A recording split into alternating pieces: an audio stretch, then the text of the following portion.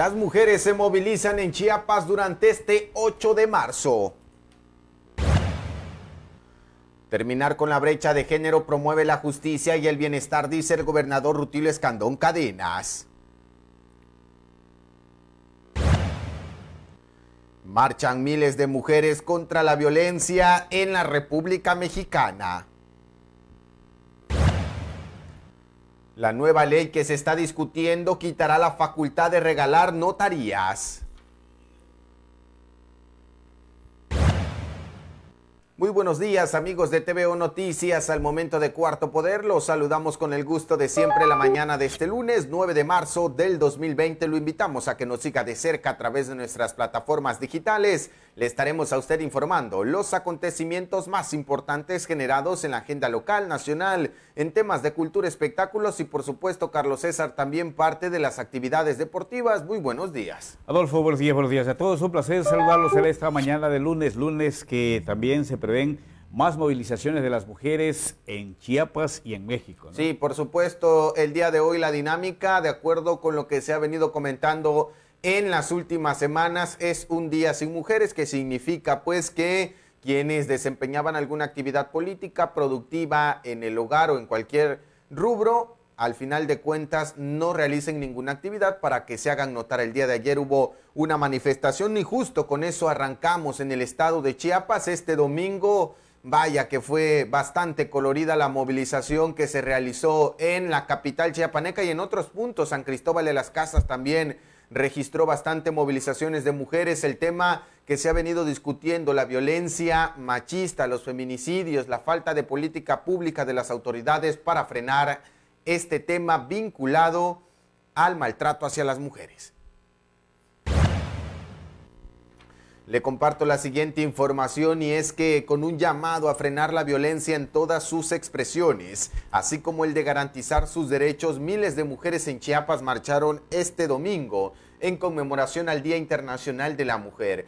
Tuxtla Gutiérrez, San Cristóbal de las Casas, Chapultenango, Tonalá, Comitán, Huixla y Tapachula fueron algunas de las ciudades aglomeraron el mayor número de mujeres durante esta movilización en la que se presentaron incidentes menores. En la capital del estado, familiares de víctimas de feminicidios encabezaron la marcha multitudinaria que partió del Parque de la Juventud hacia el Zócalo de la ciudad donde a través de mantas, carteles y cantos se demandaba el cese a la violencia machista feminicida y justicia para aquellas mujeres que han sido violentadas y asesinadas en Chiapas. Durante su marcha hacia el Parque Central, los diversos colectivos de mujeres, entre los que se encontraban indígenas, niñas, adolescentes, personas de la tercera edad, inclusive nuestras compañeras periodistas, lanzaron consignas en las calles de la ciudad, se tiñeron de morado, el color que identificó estas movilizaciones a nivel mundial. Aunque se presentaron algunas pintas en comercios, la marcha en Tuxtla Gutiérrez transcurrió de manera pacífica por parte de las asistentes y de esta manera pueden marchar las veces que sean necesarias, Carlos César, para que exista respeto hacia la mujer desde, por supuesto, la parte social hasta la parte gubernamental, no solamente para investigar aquellos crímenes, sino también para prevenir feminicidios, que es la eh, violencia en su grado más grave en contra de las mujeres. Pero esto, estas manifestaciones no deberían de ser si la autoridad hiciera su parte. El Congreso del Estado, eh, la Cámara Federal de Diputados y la de Senadores también tienen su parte de culpa. ¿Por qué? Porque no se reforman el Código Penal eh, federal y en este caso el estatal con el objeto de sancionar más severamente este tipo de actos en contra de las mujeres. 10, 20 años de prisión se me hace muy poco. Deberían de ser de 50 para arriba estos tipos para, y una buena promoción a reformas al Código Penal para que ya lo vaya pensando aquel que quiera cometer ese tipo de actos. ¿no? Y en todos los rubros, Carlos César, finalmente también si nos vamos a la parte del Congreso del Estado de Chiapas, eh, inclusive ahí también está trabada todavía la ley para prohibir el tema de la violencia política, que como sabemos también al final de cuentas es otro tipo de violencia, violencia social, económica, política en fin, una reflexión tendría que ser para las autoridades la manifestación que se dio ayer en la capital chiapaneca y que es aplaudible en cualquier sentido. El tema de las pintas me parece que es lo de menos y lo que no se debería tomar en cuenta. Lo que debería sorprender es la cantidad de mujeres que ahora afortunadamente se están informando y tienen el valor de pronunciarse en las calles de Tuxtla Gutiérrez sin ningún tipo de miedo y eso vale la pena resaltar también desde este espacio, reconocer el trabajo que hicieron algunas de nuestras compañeras, no solamente dando cobertura a esta manifestación, sino también marchando como ciudadanas, que a final de cuentas tienen todo el derecho de hacerlo. Y así como se organizaron ayer, sería bueno que lo hicieran para exigirle al Congreso del Estado reformas al Código Penal. Por supuesto.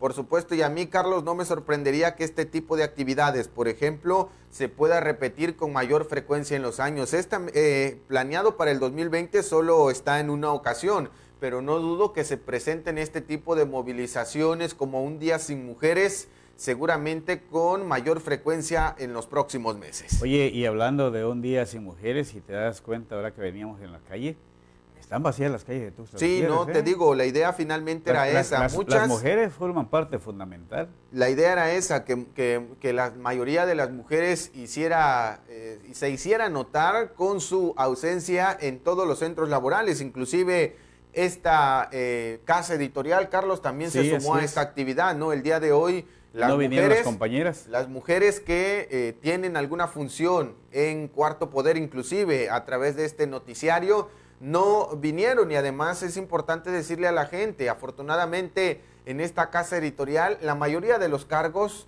eh, más importantes los ocupan mujeres, desde, desde la cabeza de este proyecto que son dos mujeres ejemplares la jefatura de información la ocupa una mujer, en el tema de diseño, la jefatura de diseño la ocupa una mujer, en el área de edición de deportes lo ocupa una mujer, el área de producción de TVO Noticias está ocupada por un varón y por una mujer. Así es. ¿No? Entonces, también eso es importante comentárselo a la gente y que eh, la empresa se sumó desde el fin de semana pasado eh, pidiendo inclusive, ¿no? Expresando opiniones a las mujeres para que mostraran un poco también lo que eh, han sufrido en las calles y escuchábamos algunos testimonios que seguramente esta situación la ha sufrido cualquier mujer en las calles de Tuxtla Gutiérrez. Hoy, hoy por la mañana que venía al estudio, eh, en el parque central del fraccionamiento de la misión, vi varias mujeres este, ejercitándose como todas las mañanas su día normal para ellas, ¿no? Sí, por supuesto, Carlos. Desafortunadamente hubo algunos sectores que quizás por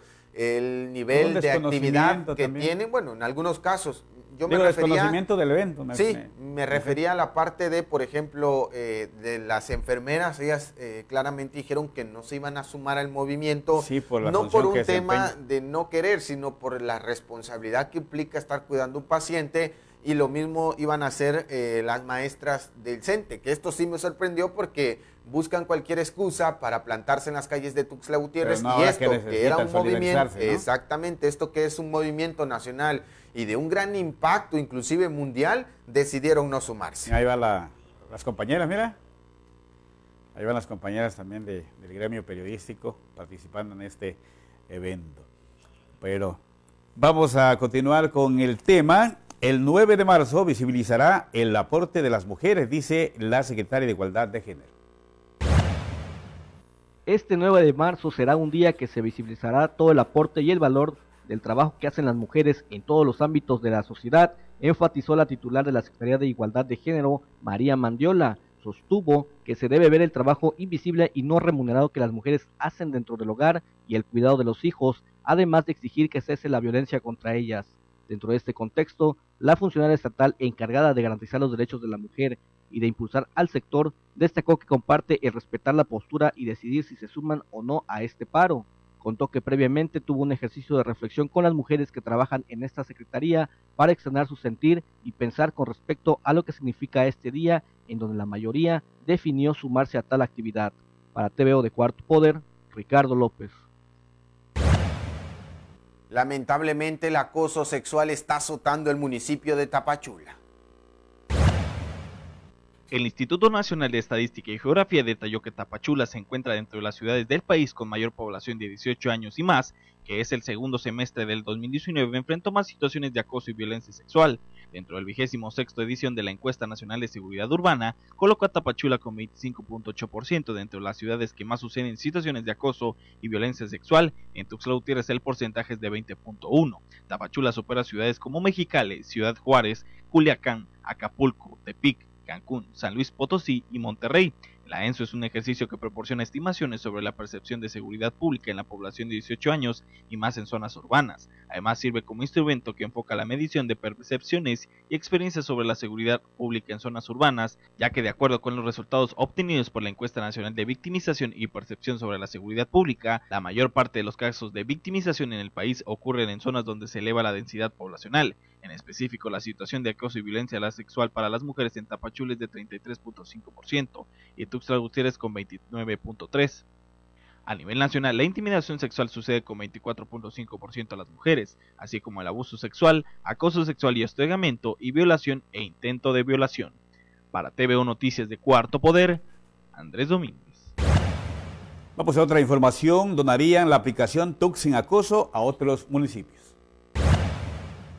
La síndica del Ayuntamiento de Tuxtla Gutiérrez, Carla Burguete Torrestiana, declaró que gracias a la aplicación Tux sin acoso para la atención a mujeres por situaciones de violencia en su contra, se han atendido 45 alertas y han detenido a 5 hombres. Una estrategia que ha funcionado por lo que se prevé donar la aplicación a otros municipios para que lo puedan adaptar a su sistema de seguridad se trabajan todos los elementos que la Fiscalía señala al momento de tener activa la alerta de violencia de género, lo que ha llevado a generar un recurso, pero también vigentes algunas medidas como esta aplicación que se trabajó durante cinco meses, la cual permite a todas las mujeres tener la posibilidad de pedir auxilio al estar en riesgo en la vía pública o incluso en el hogar.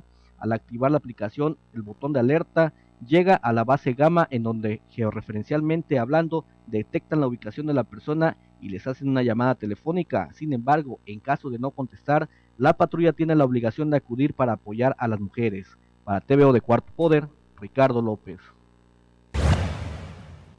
Y bueno, en nueve años, de acuerdo con cifras oficiales, se han tenido un reporte de más de 1.300 mujeres desaparecidas. La plataforma alerta de género.org.mx detalla que del 2011 al 31 de enero del 2020, las autoridades estatales recibieron la denuncia de 1.359 mujeres con reporte de desaparecidas, siendo el 2014 el año en que más incidencias se registró, con 352 casos. De los números que se comparten, se desglosa que 1.256 mujeres se han encontrado con vida, 14 estaban muertas y 89 se mantienen en trámite. En este año se recibieron 13 reportes, 8 mujeres fueron encontradas, y faltan cinco. De las 89 mujeres que aún están en el proceso de búsqueda, Tuxla Gutiérrez encabeza la lista con 17 casos, le sigue San Cristóbal con 12 y, en tercer lugar, aparece Tapachula con 8 mujeres.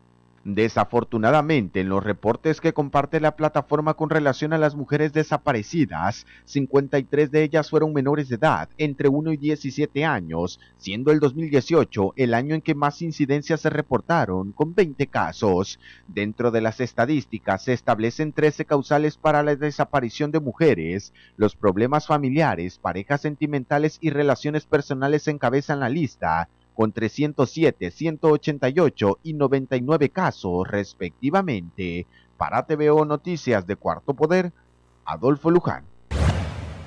Terminar con la brecha de género promueve la justicia y el bienestar, dice el gobernador Rutilio Escandón Cadenas. La búsqueda de terminar con la brecha de género no es una simulación, es la acción constante de generar justicia y bienestar para las mujeres manifestó el gobernador Rutilio Escandón Cadenas durante el Encuentro Internacional Economía Social Solidaria entre Mujeres, celebrado en San Cristóbal de las Casas, en el marco de la conmemoración del Día Internacional de la Mujer, ante mujeres de Guatemala, Ecuador y de los estados de Yucatán, Campeche, Puebla, Oaxaca y Chiapas. El mandatario expresó que el impulso de acciones a favor de las chiapanecas se realiza por convicción. Por ello, su gobierno es un aliado de las mujeres, reconoce y necesita de su talento porque son un motor indispensable para el avance de la entidad, México y el mundo. Luego de entregar al gobernador la edición emanada de este encuentro que fortalece el intercambio de experiencias nacionales e internacionales, la secretaria de Igualdad de Género, María Mandeola, señaló que con esto se amplían los horizontes de desarrollo, inversión e inclusión dentro de la economía social por mujeres, de mujeres y para mujeres.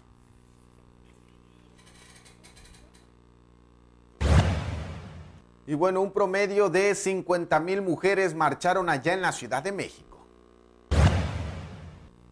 Le comparto la siguiente información y es que un promedio de 50 mil mujeres, niñas, hombres y personas participaron en la marcha que se realiza cada año en la Ciudad de México para exigir justicia e igualdad para las mujeres todas con las demandas de poner fin a la violencia contra la mujer, poner alto al acoso, a los ataques violentos y que haya justicia para aquellas mujeres que han sido asesinadas. Al llegar al Zócalo en el corazón político e histórico del país, donde hay un promedio de 10 feminicidios por día, miles de mujeres en una sola voz lanzaron consignas para exigir que ya no haya más violencia, acoso y discriminación en su contra. El lugar se llevó a cabo un mitin donde se demanda respeto a los plenos derechos y defensa organizada de las mujeres, además de que haya justicia para las víctimas de feminicidios. Además, madres y familiares de víctimas comparten o compartieron más bien sus casos desde el templete frente a Palacio Nacional. En el marco del Día Internacional de la Mujer, miles de mujeres se movilizaron en distintas ciudades del país justo para exigir esto, un freno a la violencia. Y mira, sobre el mismo tema, sobre la marcha que hubo en la Ciudad de México por el Día Internacional de la Mujer, en la Ciudad de México precisamente se presentó la explosión de dos bombas Molotov, una de ellas en la puerta de Palacio Nacional y la otra en una calle aledaña. Se reportó por lo menos dos mujeres lesionadas, siendo una de ellas la afectada una fotógrafa del periódico El Universal.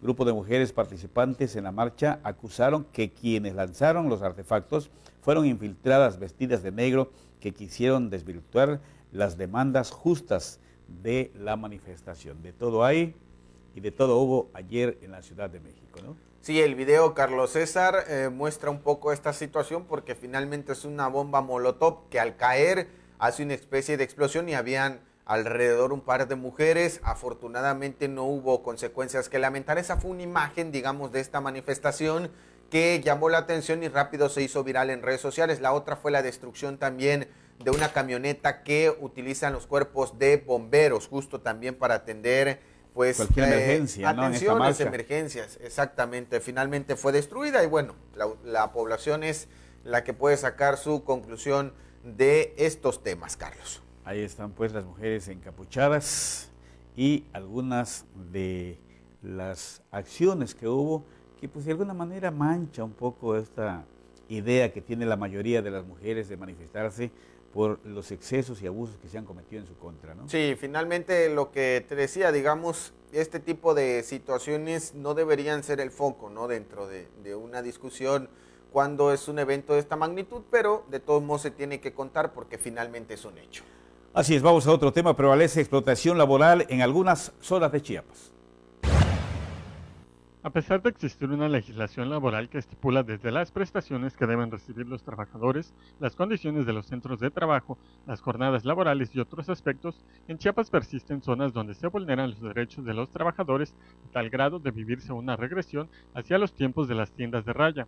El abogado miembro de la Barra Mexicana Colegio de Abogados, Álvaro Altamirano Ramírez, comentó que este tipo de casos se han documentado en las zonas donde se ofrece trabajo a migrantes guatemaltecos y de otros países centroamericanos, donde los empleadores, aprovechándose de la situación, extienden las jornadas laborales, pagan poco e incluso contratan a menores de 15 años llamó a las instancias correspondientes a fortalecer el trabajo de vigilancia y supervisión de estos centros de trabajo, en muchos casos fincas y granjas, para mejorar las condiciones en las que laboran algunos grupos migrantes, para evitar que se repita este fenómeno que históricamente había sido superado en nuestro estado.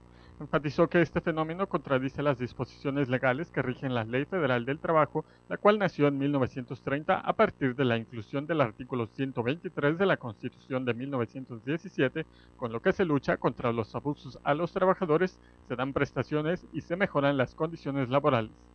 Para TVO de Cuarto Poder, William Chacón. Cambiamos de tema, vamos a más información, aunque las autoridades de la Secretaría de Salud habían informado que ya se tiene un protocolo de actuación en caso de que aumenten las personas contagiadas por coronavirus en Chiapas, la secretaria general del Sindicato Nacional de Trabajadores de la Salud de la sección 50 dice que en Chiapas no hay, así y hasta lo remarcó, no hay infraestructura para hacerle frente a una emergencia de este tipo. Aunque las autoridades estatales han informado que cuentan con un búnker de 34 camas para atender a adultos infectados de coronavirus y 16 más para infantes, Chiapas no tiene ningún tipo de infraestructura adecuada que permita enfrentar un caso de emergencia local si la enfermedad se expande, remarcó María de Jesús Espinosa de los Santos, secretaria general de la sección 50 del Sindicato Nacional de Trabajadores de la Salud. Entrevistada sobre el tema, remarcó que la entidad tampoco tiene medicamentos, materiales o equipos que permitan atender a los pacientes que tengan la enfermedad. Sin embargo, dijo, el personal sí tiene los conocimientos técnicos para orientar a las personas contagiadas, y muestra de ello es que se les ha hecho frente a otros virus que también han generado pánicos y hasta muertes en Chiapas, hablando del dengue, el zika y el chikungunya. Es importante señalar que fue el pasado 2 de marzo cuando la Secretaría de Salud confirmó el primer caso de coronavirus en una joven de 18 años que vino de Italia, país donde se generó un brote. Se mantiene en vigilancia y se espera que este 9 de marzo culmine el proceso de monitoreo. Para TVO Noticias de Cuarto Poder, Adolfo Luján. El otro tema pronostican sequía severa y extensa para los siguientes años. La Secretaría de Agricultura y Desarrollo Rural y el Centro Internacional del Mejoramiento de Maíz y Trigo afirmaron que los escenarios de cambio climático para Chiapas indican que los periodos de sequía serán más severos y extensos en los próximos años, en especial en los municipios que se presentaron mayor número de incendios como Cocingo, Venustiano Carranza y Villacorso. Ambas dependencias ante el análisis de este panorama han decidido iniciar la campaña Chiapas no quema, con el fin de promover prácticas sustentables y así reducir el riesgo de fenómenos catastróficos. Integrantes del CIMIN han dicho que desde la agricultura es posible disminuir el riesgo climático que amenaza los bosques y la seguridad alimentaria de Chiapas. Dentro de las acciones que se emprenderán será aplicar una agricultura de conservación que aproveche el rastrojo en lugar de quemarlo para mejorar la estructura y la calidad del suelo y la milpa intercalada con árboles frutales, útil para evitar la erosión en terrenos de ladera. Para TVO Noticias de Cuarto Poder, Andrés Domínguez. Vamos a más información. Desafortunadamente, los incendios siguen azotando el estado de Chiapas. Han consumido ya casi 700 hectáreas. Aunque se han implementado estrategias gubernamentales con brechas cortafuego, difusión de la importancia de no realizar quemas y sanciones administrativas ilegales, en Chiapas, en lo que va de este 2020, los incendios forestales ya mataron casi 700 hectáreas de vegetación de herbáceo y arbustivo. Así lo detallan las cifras que cada semana actualiza la Comisión Nacional Forestal. En el acumulado que se dio del 1 de enero al 5 de marzo de este año, la dependencia federal enfatiza que en el país se han registrado 400 72 incendios forestales que han impactado en 17 entidades federativas. En el estado, en los meses transcurridos, se han confirmado 26 incendios forestales que quemaron 685 hectáreas. 608 son de herbáceo, 8 de arbolado adulto y 69 de arbustivo. En los últimos días, para Chiapas se confirmaron tres incendios forestales. Para TVO Noticias de Cuarto Poder, Adolfo Luján. El otro tema, la nueva ley quitará la facultad de regalar notarías en Chiapas.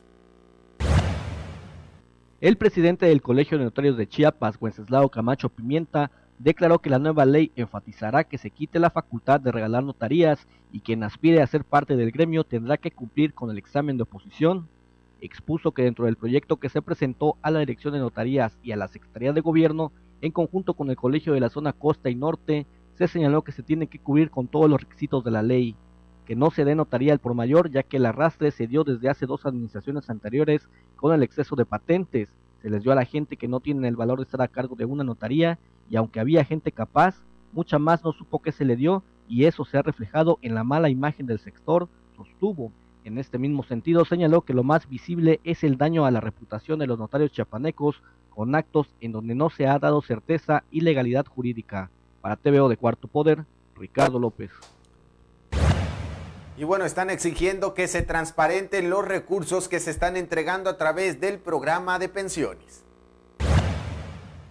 El Pleno del Instituto Nacional de Acceso a la Información ordenó modificar la respuesta de la Secretaría de Bienestar e instruir que turne una solicitud de información a las unidades competentes para integrar detalles sobre el programa de pensión para bienestar de las personas con discapacidad impulsado por esta institución. Un particular solicitó a la Secretaría de Bienestar información relacionada con el pago de pensión para el bienestar de las personas con discapacidad permanente en Tuxtla Gutiérrez, correspondiente al ejercicio fiscal de 2019. El motivo del particular fue saber por qué no se han beneficiado a todas las personas empadronadas y el contacto de las personas encargadas de hacer entrega de las tarjetas de pago. Sin embargo, la Secretaría entregó el padrón de beneficiarios correspondiente al bimestre mayo-junio 2019 y no precisó contar con información relacionada con tarjetas bancarias. Por eso, el particular se inconformó y en la solicitud de información pasó a jurisdicción del Instituto Nacional de Acceso a la Información Pública. Para TVO Noticias de Cuarto Poder, Andrés Domínguez. La Cadacintera pide no detener obras para el desarrollo del sureste del país. Carlos Ernesto Orantes Vázquez, presidente de la Cámara de la Industria de la Transformación Canacintra en la entidad, lamentó que la obra del tren Maya se esté postergando por intereses particulares, a pesar de que representa el principal detonante para diferentes sectores en el sureste del país. El representante de este sector expuso que es imperante que el gobierno federal deba tomar una firme decisión, de lo contrario cualquier grupo por el motivo que sea frenará el desarrollo de obras y proyectos, sean carreteras, aeropuertos o como el proyecto de conexión como es el tren Maya. Esta obra que sería una de las más importantes beneficiaría a la industria de la transformación ya que se puede sacar mediante la carga los productos que se elaboran en Chiapas, sin duda es un proyecto que estábamos esperando, así lo dijo. Sin embargo, como sector expresó que también se esperaba esta oposición, sabíamos que iba a ocurrir, pero también esperábamos que el gobierno federal tuviera una postura diferente, una acción con mano dura de lo que el gobierno iba a hacer pues iba a ser posible esta obra. Lamentó que el panorama es que ciertos grupos de personas les dejan hacer lo que quieran y no debe ser así. No puede ser que a algunos se les haga caso y a otros se les pase a traer.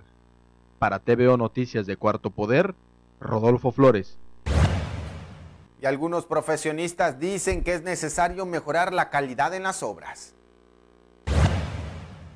Rodolfo Alberto Farrera Maza, presidente del Colegio de Ingenieros Civiles de Chiapas, el SICH, dio a conocer que una de las principales metas que tiene a corto plazo es el acercamiento con la Secretaría de Educación Federal y en los estados para coadyuvar y abonar en los lineamientos para la rehabilitación o construcción de escuelas nuevas en el estado de Chiapas. Con ello, precisó, se busca abonar a la calidad y garantía en el desarrollo de infraestructura pública y privada con la participación de profesionales técnicos de probada capacidad. En este sentido, informó que abordando los retos a los que el contexto actual se enfrentan los profesionistas del país, el SICH participó en los últimos días en la primera reunión nacional del FEMSIC, que tuvo como sede la región centro-occidente. Sobre este encuentro con profesionistas de todo el país en Puerto Vallarta, Jalisco, el presidente del Colegio Chiapaneco dio a conocer que durante el evento, además del intercambio de visiones y experiencias, se refrendó la unión y fortaleza que los compromete a seguir trabajando a favor del desarrollo de la ingeniería a nivel nacional. Barrera más explicó que se compartirá con los agremiados del SICH la importante información obtenida en este encuentro sobre temas como la conectividad de infraestructura turística,